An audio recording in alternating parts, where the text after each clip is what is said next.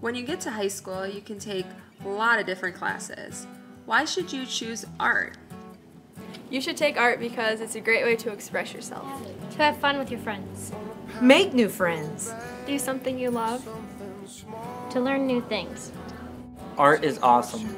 It helps expand your creativity and critical thinking skills. You take art class to help your right brain grow. You should take art because you can express yourself in new ways.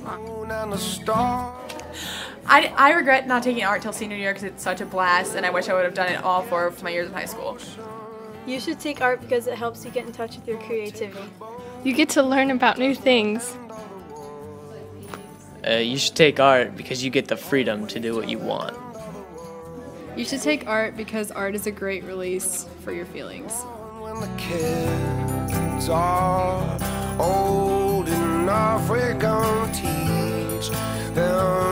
To fly. You get to make things you're proud of. Baby, you and me together. Yes, yes, you and me together. We could do anything. Before I did art, I looked at an art piece and it didn't mean anything, but after doing art for some time, I finally understand art. Take art because it's really fun and Miss Streamer is such a blast. Not falling, but rising like. Uh, you should really consider taking art because you can improve your drawing skills and painting skills.